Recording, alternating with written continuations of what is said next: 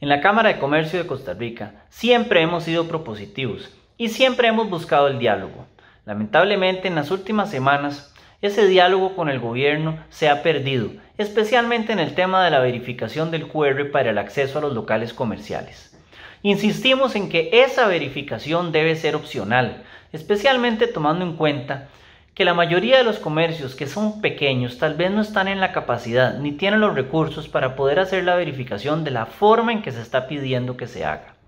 Nos encantaría podernos reunir con las autoridades de gobierno para poder buscar formas alternativas que permitan hacer una verificación de una forma mucho más ágil y mucho menos costosa. Insistimos en que el contagio no se está dando en los comercios. En los comercios seguimos protocolos, protocolos que nos permiten garantizarle un ambiente seguro a los visitantes y a los colaboradores. Tenemos que trabajar juntos, el sector privado y el gobierno, para poder sacar adelante esta tarea.